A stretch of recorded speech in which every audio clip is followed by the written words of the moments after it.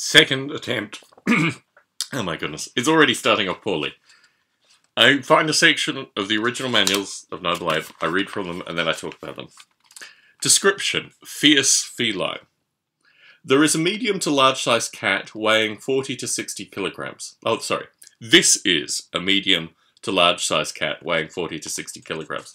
They live both in the trees and on the ground. The feline uses the trees as a lookout for food as well as a means of ambushing its prey. They live for roughly 20 years and can produce a litter of 4 to 6 kittens once a year after their first year. Real world creatures which are similar to these simulation creatures include the leopard cat and the flat headed cat of Southeast Asia. So, the noble apes have predators, or have a primary predator. Um, they have other things that can cause them trouble. But the primary predator that they have is the fierce feline. And the fierce feline was developed in the early noble ape simulation primarily as something to cultivate around fear. Like if you have fear and desire but you have no natural predators, fear's like you're scared of some other ape that might be poisoning you or throwing rocks at you or things like this. But if you have a feline, a large predatorial cat, that preys on young apes and preys actually on the weak and the elderly as well, then you have a completely different simulation. And for me, when I started developing Noble Ape, now I'd done all the software previously, but it was launched when I was in Malaysia. And Malaysia for me was an amazing experience because you had the uh, macaques, which are um, they're not just in Malaysia; they go up to Japan. There are macaques in Japan. They're the ones that, that bathe in the steaming baths and what have you, and they're really curious creatures. And obviously, you've got orangutans and various other kinds of ape creatures, but you also have cats. And when I was in Malaysia, I did a lot of traveling, but when I was based in Malaysia, I was based primarily in Kuala Lumpur, on the outskirts of Kuala Lumpur. I can't remember what the suburb was called. Uh, anyway, I was I was based in Kuala Lumpur, and there were feral cats. There were feral cats that had was kind of soprano-esque like interactions. You'd have meetings of two different gangs of feral cats, and they'd meet in kind of collectives, and they were evenly weighted. The heavies on the sides, and the usually slightly sprier, you know, whatever cats were in the middle. So seeing cats like that was one thing. Seeing monkeys, as I saw in Malaysia, was another. But what I found really surreal was one time I slept on the ground floor, and as was the case in Malaysia, there were barbed, not barbed wire, but, but windows with slats in them, and you know there was the kind of safe room, and there were all these things about Malaysia based on the notion that um, oh, it, historically, particularly for diplomats, my mother was a diplomat, the, there were problems in Malaysia, right? There have been wars and these kind of things and insurrections and all this kind of stuff. Malaysia now, no chance of that going on. But in the 60s, you know, these things happened. In the 70s, there were threats of these things happening. So all the older houses had all these things. Anyway, I was staying in a room which would have been easy to, at the front of the house.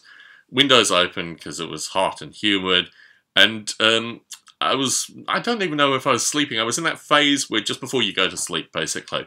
And I saw this arm reach in, and as if they were going to like grab the inner bars. And then the arm fell off, and I realized it was a cat. So my immediate assumption was that it was like a feral cat, but it was much larger than that. So I turned the light on, and this thing was looking back at me, and this was a cat with human eyes. This was the flat-faced cat that I described, actually, in the original manuals. A cat with human eyes staring back at me, and it just started to run. And it started to run so fast that it was running around the walls of the room that I was in. And it was just going crazy. So I opened the wall, the door, and it ran into the main living area, and then I opened the door to the outside and it ran out. But for an instant, I came face to face with a cat with human eyes, and it was a it was a wild cat. It wasn't a cat like I'd ever seen previously. The cats that I'd seen in Kuala Lumpur were all like predominantly Portuguese, but cats, like, you know, domestic cats, except they were feral. They lived on the streets. They were street cats.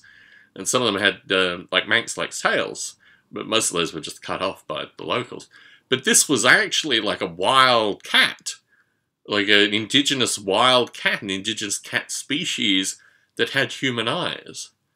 And it was too small to cause me any harm. It could have caused me harm, I guess, if it was confronted or what have you. I was very careful just to, you know, open doors to get it to leave the space. But yeah, that was a very surreal interaction with a creature that I probably, I mean, it wouldn't have ended well for either of us, I'm sure, but I probably should have studied more. So this was when I was first in Malaysia, and this really impacted me very strongly.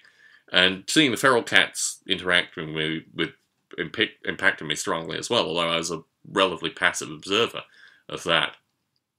So, as I was developing Noble Ape, I mean, you've got to imagine the development of Noble Ape is I had literally half a dozen pieces of software that I just had on a hard disk where, you know, one was compiler software, antiviral software, landscape visualization, um, the antiviral software, I've talked about this a little bit, but it's associated with like agar population. So this is heuristic analysis of virus propagation. So I had all these bits and pieces which were literally just directories of software that I ran, you know, and some of it I, the antiviral software was actually an application. In fact, they were all applications, as one would call them these days.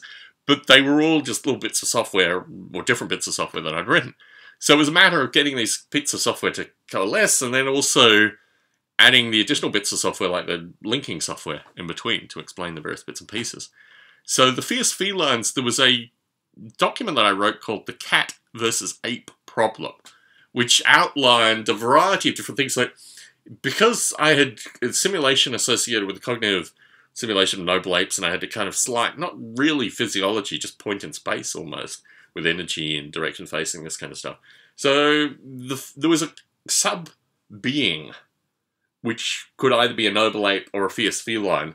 But the cognitive development and the way in which these things developed, I mean, ideally what I wanted was a, a fierce feline cognitive simulation, which I did, smaller, like brain size than the ape, but same underlying values, but considerably different associated with how stuff was transmitted because it was a smaller brain, but also I wanted to model intrinsically what a cat was versus what an ape was through the cognitive simulation. So, about, I don't know, when it got, when I rewrote Noble Ape, which I did in Stockholm in 2000, I removed the Fierce Felines. And I wanted to reintroduce the Fierce Felines. There's some reintroduction code, which I've never really gotten into, but the whole thing with the Fierce Felines was uh, really psychological. It was just an additional psychology that influenced the simulation greatly and was very negative and survival, you know, almost paranoia basically. So when I removed it, it was very easy to remove. And it wasn't, it was never really finished properly. Like the physiology of the cats were added and beautiful drawings and stuff associated with that, but they weren't really as fully baked as the apes. And I always felt difficult. I find this complete tangent. I did a podcast with a fellow, and we were reviewing rules associated with um, the current conflicts in Iraq and Afghanistan. And the fact that the combatants, the enemy combatants, were like ghosts. They weren't active or as rep well represented as the American forces were, for example. I thought that was a real negative thing. And with Noble Ape 2, the fact the fierce felines weren't as grounded or as real as the noble apes in the software sense just made them easy to remove. But I've always felt bad about that. I've got to reintroduce the fierce felines. Just got to get that emotional energy back in there. And this is a special shout out to Melik Kutash, actually, because this topic came to me directly because of Melik Kutash. So I want to send a shout out to him. He's a Jordanian farmer, a, a Jordanian man of leisure, probably more than a farmer now. But I wanted to send a shout out to him because he was asking about the fierce felines specifically when I posted the weather simulation stuff. And it's good that people still remember the fierce felines important part of Noble Ape.